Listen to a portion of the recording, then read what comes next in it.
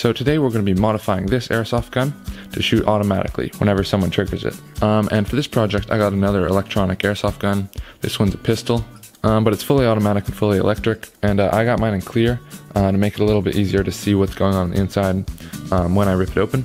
I'll link it in the description if you guys want to go check it out. But uh, yeah, it takes four AAAs and it uh, uses kind of this banana clip um, that holds I think like 16 shots.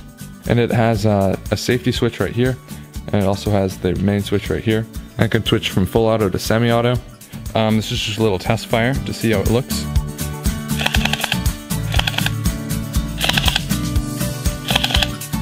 Let's go for that trash can right there.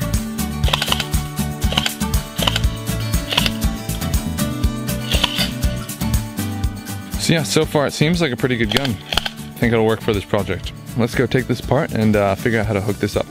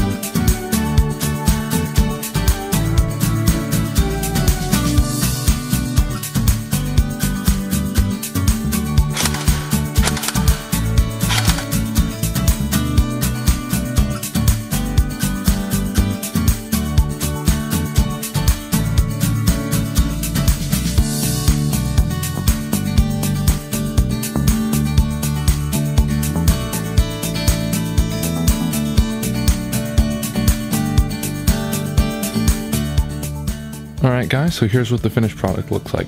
We've got our airsoft gun, and we've basically just secured down the trigger and the uh, safety with a few zip ties, and then we shorted out the battery circuit and attached two long wires um, over to this clothespin, and we attached the leads to the tip of clothespin, and we added a piece of plastic to separate the two leads. So whenever this plastic gets pulled out, uh, the gun will go off automatically uh, until it runs out of ammo. Yeah, all that's left is to hook up this clothespin to the door and the gun to something in the room that's pointed at the door. So I'm gonna use this bunk bed right here. All right, so we've just attached the clothespin to the door using just a tack on the wires. The clothespin itself doesn't need to be too secure. It just needs to not be able to pull out at all.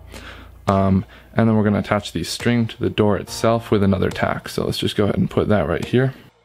And then let's just wrap the string around it and then push it in to secure it. It's now set. All we have to do is just go set the gun. The gun is now in place.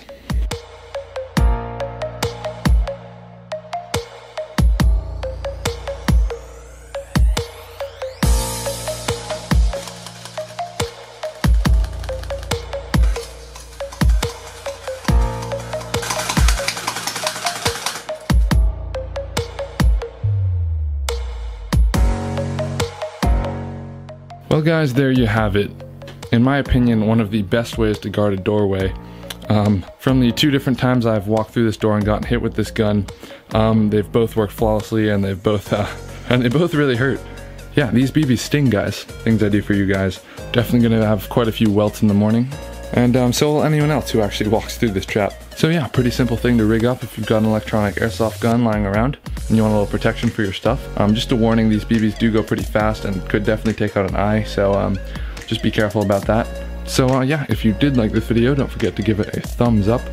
Also hit that subscribe button if you're not already uh, to be notified when I upload new videos. So uh, yeah, that's pretty much all I've got for today guys, so I will catch you in the next video.